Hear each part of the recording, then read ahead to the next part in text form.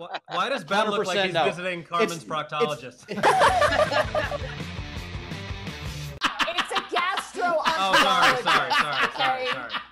What's a proctologist is is I don't That's an know. ass doctor. That's a is. I real know, but what's the difference? Doctor. I, I thought I know, I- gastroenterology was like stomach shit. Yeah, but they have to I- go through your butt. Oh, Yeah, true. yeah, but- Carmen, I hate to tell you, but they they don't. You've you've been going. She's What? like, I have stomach pain. He's like, bend over. He's like, I don't know what's going on in there. Carmen, does your dentist also go in through your butt? yeah.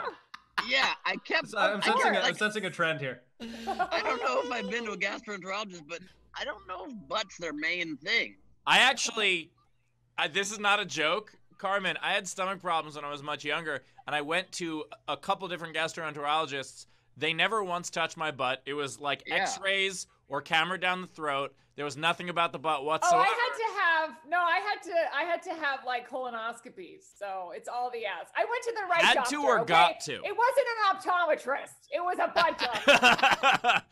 no, they're they're they're like going into your butt, and they're like, okay, this line or this line, this one. now do it bending over. Take your Yeah. pants off. hey guys, look, Henry's on my back. This isn't. This, this is like goat yoga, only way more cute. Look at this. Oh. And he's gone. Uh, Uh, I was, yeah. good boy, Henry. His, his butthole looks healthy though. Yeah. and Adam knows he's a dentist.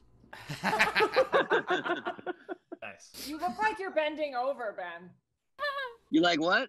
Oh, it just looked like you were bending over. no, he said, you like what? That was his response. That was hilarious.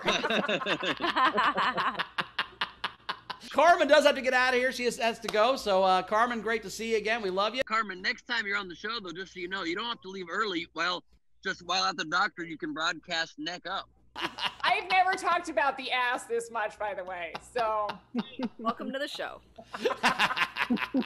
There are there are a few women here that are definitely dressed for the gastroenterologist. There's where it starts. Ben's correct. And then in the background, it's the ass doctor.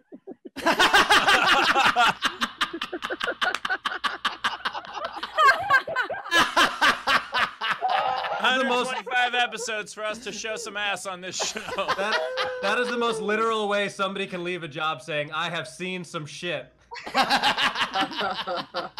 That's so great.